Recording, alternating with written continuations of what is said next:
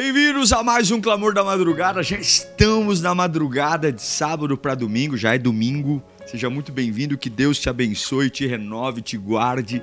É muito bom ter você aqui nesse domingão. Já já daqui a pouquinho, hein?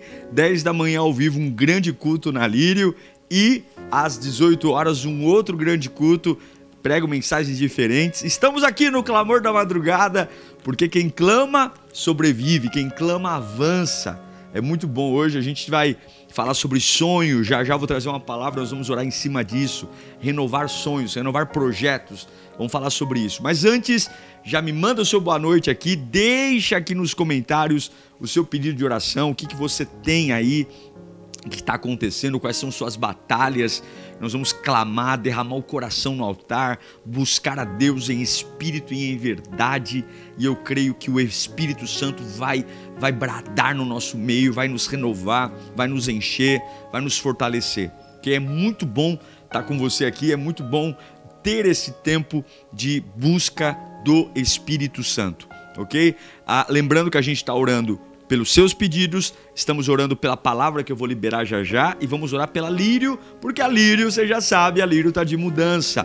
Estamos orando para que o Espírito Santo haja, milagres aconteçam, a provisão venha e Deus realmente nos surpreenda, porque Ele é um Deus fiel e poderoso. Amém? Queridos irmãos, eu quero ler um texto com você em Provérbios capítulo 16, Provérbios 16, versículo 3, a palavra diz assim, ó: Consagre ao Senhor tudo o que você faz e os seus planos serão bem-sucedidos. Consagre ao Senhor tudo o que você faz e os seus planos serão bem-sucedidos. Eu vou repetir: consagre ao Senhor tudo o que você faz e os seus planos serão bem-sucedidos. Veja, todos nós temos sonhos.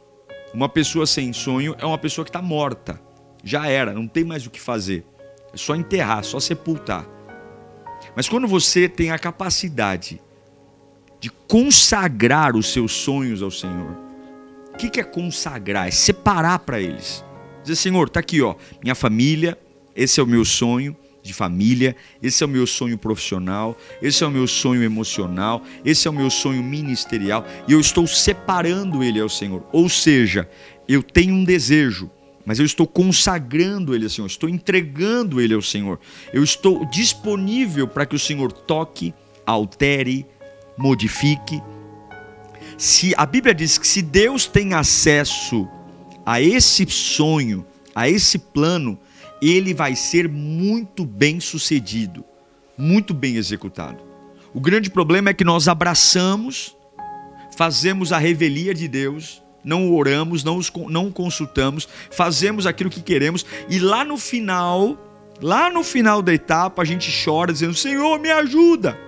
Eu vou dar um exemplo para você. Toda vez que eu vou num velório, me pedem para fazer uma oração mas nem toda vez que eu vou no aniversário infantil pedem para eu orar. É batata. Todo velório eu oro. Aniversário, algumas vezes fazem até assim, ah, pastor tá aí, pede para o pastor orar. Por quê? Porque nós aprendemos sempre a colocar Deus no final. Quando as coisas estão ruins, morreu, acabou, ora aí, pastor, para Deus confortar. Mas enquanto as coisas estão indo bem, a gente não tem tempo. Natal não ora, Ano Novo não ora, mas em velório ora.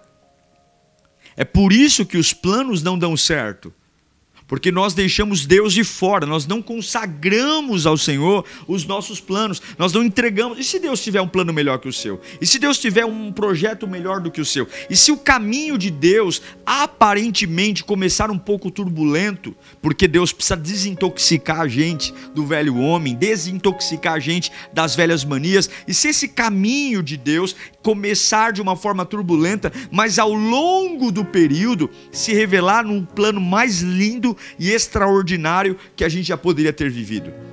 Você não sabe o que Deus está fazendo. E é por isso que eu quero dizer: ressuscite os seus sonhos, consagrando ao Senhor. Não é nem, nem um lado nem o outro, é o equilíbrio. Não precisa desistir de nada.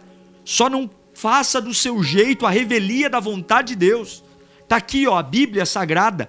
Está aqui a palavra de Deus, que é lâmpada para os nossos pés e luz para os nossos caminhos. Está aqui a palavra que pode ser palavra rema, de direção, de aconchego, de batalha.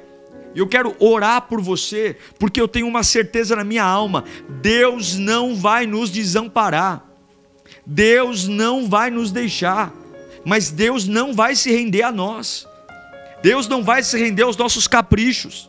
Então, em nome de Jesus, olhe para o autor e consumador da sua fé.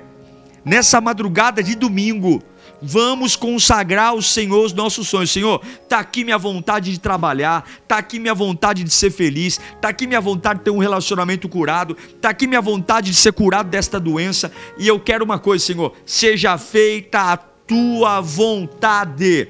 Eu quero ter sonhos lindos onde o Senhor faça parte, onde o Senhor esteja comigo, onde o Senhor sonhe comigo. É isso que muda a história, é isso que faz a vida ter sentido. Eu quero orar com você agora. Liga o teu pensamento no trono da graça. Vamos invocar a gloriosa presença de Jesus. Pai, eu me uno com milhares de pessoas no meio desse jejum, já madrugada dentro de domingo, meu Deus. Nós clamamos porque confiamos nós clamamos porque esperamos em Ti, nós clamamos porque não há outro digno de ser adorado, nós clamamos porque o Senhor nunca errou, nunca falhou, nunca mentiu. E nesse clamor nós pedimos um renovo, um renovo dos nossos sonhos, sonhos que foram frustrados por nossa culpa, sonhos que foram frustrados porque nós andamos sem Ti, nos precipitamos, erramos, erramos em duvidar, erramos, ó Deus, colocando e trocando os pés pelas mãos, mas em nome de Jesus eu clamo pela tua intervenção, eu clamo pelo teu milagre, eu clamo pela tua bondade, eu clamo pela tua glória, eu clamo pelo teu espírito, eu clamo pelo teu poder, eu clamo pelo teu mover, eu clamo pela tua unção, eu clamo, meu Deus, eu clamo, eu clamo e não há outro, não há outro como o Senhor, não há outro digno como o Senhor, não há outro Pai como o Senhor, não há outro, não há outro, eu te exalto exalto, eu te glorifico, eu te dou glória, eu te dou graça, eu te dou todo louvor, meu Deus. Tu és santo e admirável, e o teu reino é para sempre, o teu reino é para sempre, a tua glória é para sempre. Eu quero que você agora, nesta oração, entregue ao Senhor os teus sonhos. Quais são os teus sonhos? Quais são? Eu estou pensando aqui nos meus. Quais são? Entregue, Senhor. Diga assim: pode pôr a mão, pode pôr a mão, pode se envolver, pode entrar no meu sonho, o sonho desta faculdade no sonho desta casa própria, no sonho desse carro novo, no sonho desse relacionamento curado, no sonho desta família estruturada. Faça parte, faça parte desse sonho do meu ministério, do sonho, do sonho dos projetos que estão para vir. Faça parte, oh andalabacai. Seja presente, Espírito Santo, esteja presente manifestando a tua unção, manifestando o teu poder, manifestando a tua glória, manifestando a tua graça, quebrando todo paradigma, quebrando toda sentença, quebrando todo paradigma de morte, tudo aquilo que nós construímos, que o Senhor não fez parte agora. Eu invoco os teus anjos, eu invoco o teu poder, eu invoco a tua presença, eu invoco a tua graça, eu invoco a tua grandeza, eu invoco, eu invoco, eu invoco, eu invoco e eu, e eu te peço. Manifesta, manifesta, manifesta. Manifesta o teu poder, manifesta Glória ao Pai, glória ao Filho e glória ao Espírito. Glória, glória a Deus, glória a Deus. Eu sinto a presença de Deus aqui tocando em pessoas. Deus agora vai pegar seus sonhos. Você não precisa desistir dos seus sonhos, você não precisa desistir dos seus projetos, você não precisa desistir dos seus alvos, você não precisa desistir daquilo que Deus colocou na tua mão, você não precisa retroceder, você não precisa voltar, você só precisa confiar, confiar no poder, confiar na soberania, confiar na glória. Deus ama abençoar seus filhos, Deus ama abençoar suas filhas, e Ele ama abençoar você, e eu declaro em nome de Jesus, eu declaro que esse poder te erga agora. Chega de andar sozinho, chega de andar sozinho, chega de ter ideias solitárias, chega de andar. Eu sei que eu estou orando com gente aqui que está chorando, dizendo: Pastor, é isso, pastor, é por isso que minha vida não deu certo. Eu sempre fiz sozinho, eu sempre pus Deus no final, eu sempre coloquei Deus quando não dava mais jeito, mas agora acabou. Agora eu começo com Deus e termino com Deus, aleluia. Agora eu ando com Ele, agora eu falo com Ele, agora eu sonho com Ele, agora eu olho olho para a Bíblia e digo: aqui estão os meus sonhos, a minha é o que eu quero de futuro. Eu não vou fazer sozinho, porque se eu fizer sozinho, eu termino sozinho. Mas se eu começar com Deus, eu termino com Deus. Oh, glória, glória, glória, glória. Que Deus abra a tua mente, que Deus abra o teu coração, que Deus abra a tua fé agora para entender o sobrenatural. Receba sobre a tua vida sonhos consagrados, projetos consagrados, metas consagradas. Em nome de Jesus, eu não sei o que te prende, mas eu sei o que te solta. Glória lá, basuri cantereme andalá, basure fandalai. Oh Espírito Santo, Espírito de Deus, que presença gloriosa, que presença maravilhosa. Nós temos temor à tua presença, meu Pai. Nós te amamos, te amamos, te amamos. Bendito seja o nome de Jesus. Pai, eu quero orar por cada pedido feito aqui no chat, meu Deus. Cada pedido colocado aqui, meu Pai, eu quero orar. Eu quero orar porque eu sei que o Senhor é bom, o Senhor é fiel, o Senhor é maravilhoso. Eu sei que tem gente sofrendo nessa madrugada, gente preocupada, gente, meu Deus, amedrontada pelo que está acontecendo, gente que não tem rumo, meu Pai, não tem saída mas o Senhor pode, o Senhor pode fazer milagre, o Senhor pode fazer o sobrenatural, o Senhor pode quebrar mistério, o Senhor pode desfazer as obras do mal, o Senhor pode desfazer as obras das trevas, eu quero implorar, meu Deus, lares que estão em pé de guerra, famílias que estão se destruindo, lares que estão se arrebentando pelo nome de Jesus, eu não aceito, eu não aceito ver o inimigo triunfando, eu não aceito ver o diabo sorrindo, eu não aceito ver o diabo cantando vitória, acabou nesse lar, acabou nessa família Acabou essa obra de macumbaria, esse laço do passarinheiro armado, essa arapuca. Eu não vou aceitar, eu não vou aceitar, eu não vou aceitar, eu não vou, eu não vou, porque maior é o que está conosco. Senhor, eu clamo Senhor, eu invoco o teu poder, Senhor, eu invoco a tua presença, Senhor, eu invoco a tua graça, Senhor, eu invoco a tua manifestação, Senhor, eu invoco, eu invoco, eu invoco, eu invoco, eu invoco, eu invoco, eu sei que tu nos ouve, eu sei que o Senhor é bom, eu sei que a tua presença muda a história, eu sei que o Senhor pode fazer o milagre, eu sei que o Senhor pode fazer o sobrenatural, eu sei, eu sei que agindo o Senhor ninguém pode impedir, eu sei, eu sei, eu sei, eu sei, eu sei que para ti todas as coisas são possíveis, eu sei, meu Deus, eu sei, e eu imploro agora, meu Deus, meu Pai amado, meu Pai bendito, eu sei. Muda cenários, muda histórias, muda trajetórias. Muda, Senhor, muda, muda, muda, Senhor. Muda, Senhor, essa pessoa que está debaixo de julgo de miséria, essa pessoa, Senhor, que está passando fome, necessidade, essa pessoa, Senhor, que está preocupada porque as dívidas estão se avolumando. Oh, meu Deus, eu imploro, toca na vida dessa pessoa, meu Deus, quebra esse laço, quebra essa maldição.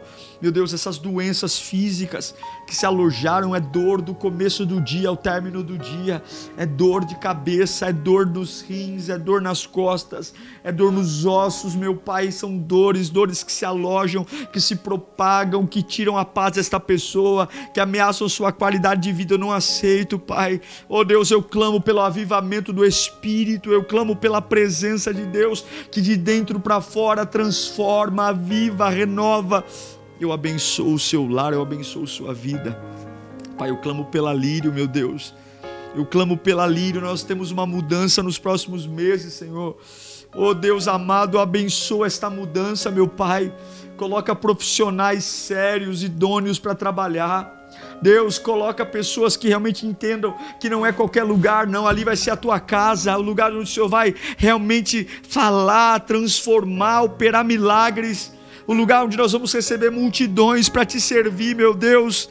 E eu sei que o inferno não está satisfeito, o inimigo não está feliz, mas ele já caiu por terra, ele já está destruído nós vamos viver o sobrenatural naquele lugar, nós vamos viver o espetacular de Deus naquele lugar, nós vamos viver o espetacular de Deus, nós vamos viver, nós vamos viver algo sobrenatural, eu tenho certeza disso, eu tenho certeza que nada vai impedir o que Deus vai fazer, oh meu Deus amado, meu Pai fiel, eu imploro, meu Deus, eu imploro, eu imploro eu imploro pela tua manifestação, meu Pai, quebra as cadeias, quebra os grilhões. Eu consagro, meu Deus, e desperta homens e mulheres para nos ajudar nesse projeto, Pai. São tantas, tantos serviços, tantas demandas, que tem hora que o meu coração, Senhor, ele, ele treme mas quando eu lembro de Ti, e quando eu lembro, Senhor, das pessoas que podem nos ajudar, que podem liberar sementes, porque juntos podemos fazer essa obra acontecer mais rápido, juntos podemos juntos fazer essa obra acontecer, meu Deus. E eu sei que o Senhor pode fazer milagre, e eu sei que o Senhor pode fazer o sobrenatural, e eu sei que o Senhor pode fazer o espetacular, e eu sei que o Senhor pode fazer o impossível, e eu sei, eu sei, eu sei, eu abençoo, eu abençoo, eu abençoo essa situação eu abençoo, eu abençoo em nome de Jesus. Quebra, meu Pai, a malignidade. Quebra, meu Deus, todo o embaraço. Quebra, meu Pai, espírito do mal, espírito das trevas, espírito satânico. Saia, saia.